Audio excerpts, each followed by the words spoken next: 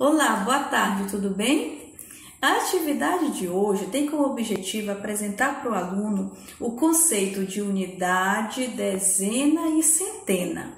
Para isso, eu vou estar mostrando os materiais que eu utilizei para explicar a atividade, que são materiais visuais e concretos e que vão estar facilitando bastante o aprendizado do aluno nesse conteúdo apresentar qual foi o material que eu utilizei. Foram materiais bem simples, como eu tenho tentado fazer nas outras atividades. Um dado, para fazer esse dado, eu utilizei uma caixinha de remédio, cortei ela no meio e depois encapei com um papel A4 e fiz essas tirinhas de caneta colorida para ficar esses quadradinhos. Esse material aqui vai representar a centena. Esse outro material foi também feito no papel A4, as tirinhas, os quadradinhos e com caneta colorida e eu preguei com fita durex em um lápis. Ele vai estar representando a dezena.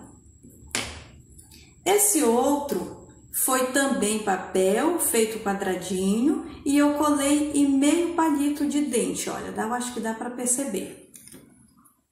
Além desse material, nós vamos precisar de copo descartável Tinta guache, que é para ficar a água assim coloridinha. Aqui dentro é um papel qualquer que você tenha que seja de uma outra cor para colocar dentro do copo.